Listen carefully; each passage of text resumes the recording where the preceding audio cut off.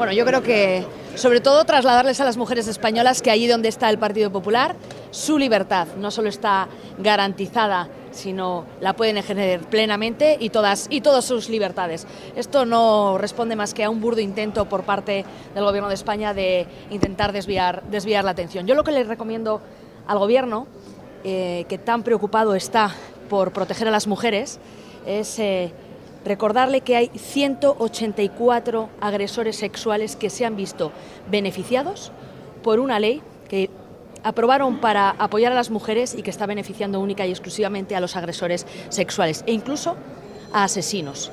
Yo le recomendaría que se centren en eso, que eso sí nos preocupa a las mujeres, eso sí que se ha aprobado y está en vigor y ahí sí que debieran de trabajar para rectificar aquello en lo que han errado y que además asuman responsabilidades políticas, que es lo que hace, lo que hace falta. preocupa que se apliquen estas medidas en un gobierno que está en coalición con el PP? No, es que, reitero, la libertad y las, el ejercicio de las libertades de las mujeres están plenamente garantizados y protegidos.